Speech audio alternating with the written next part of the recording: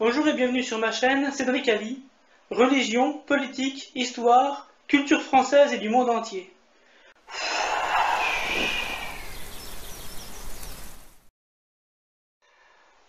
L'éphéméride du jour.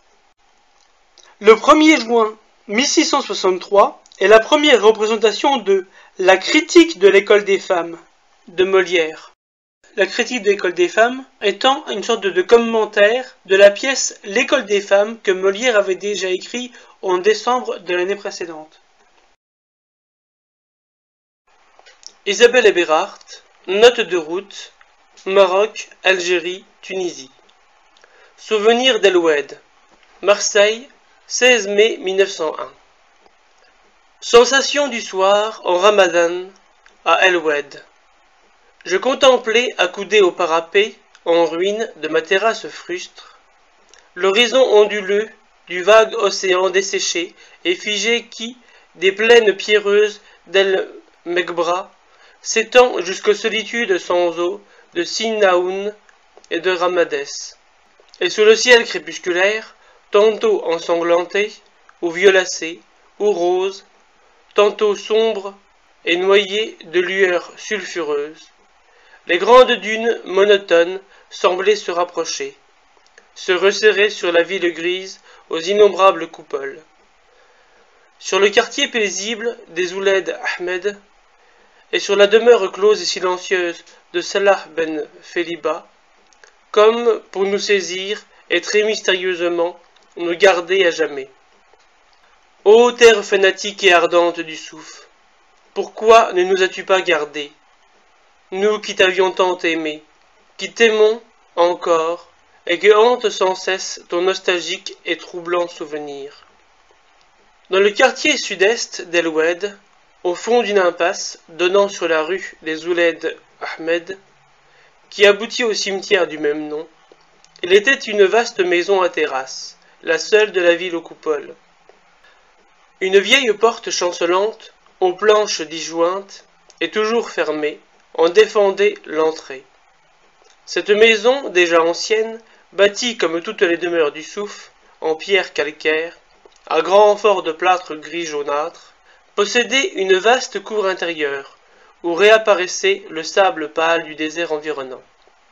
Là, dans cette demeure, ayant appartenu jadis à Salah ben Feliba, frère de l'ancien caïd des Messaba, actuellement passé entre les mains d'un vieux Chambi habitant près d'El Akbab, se sont écoulés les jours d'abord les plus tranquilles, ensuite les plus étrangement, les plus mélancoliquement troublés de mon orageuse existence. Ce furent d'abord les heures de quiétude de Chaban et de Ramadan, journées passées aux humbles travaux du logis, ou en course aux grandes zaouïas saintes. Sur mon pauvre souffle fidèle, nuit d'amour et de sécurité absolue, dans les bras l'un de l'autre, selon l'expression si juste de Slimane.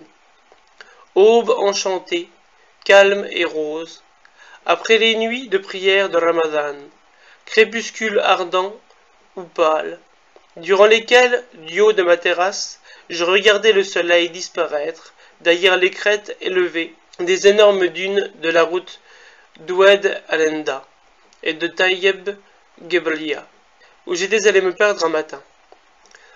J'attendais que la grise coupole du marché, d'abord, puis l'éblouissant minaret blanc de Sidi Salem se fussent décolorés, que sur sa face occidentale se fût éteint les rayonnements roses du couchant. Alors, de très loin, de la mosquée des Ouled Khalifa, puis de celle d'Azezba, commençait à monter la plainte traînante et sauvage du Muezzin. Dieu est le plus grand disait-il, et de toute la poitrine oppressée s'échappait un soupir de soulagement. Immédiatement, la place du marché se vidait et devenait silencieuse et déserte. En bas, dans la chambre grande ouverte, assis en face l'un de l'autre, leurs cigarettes à la main, avec entre eux la chaise de bois nous servant de table, Slimane et Abdelkader attendaient en silence cet instant. Et moi, souvent, je m'amusais à les décourager, leur criant que Sidi Salem était encore tout rouge. Slimane se répandait en imprécations contre le muezzin mozabite, disait-il, des Ouled Ahmed, qui prolongeait le jeûne, outre mesure.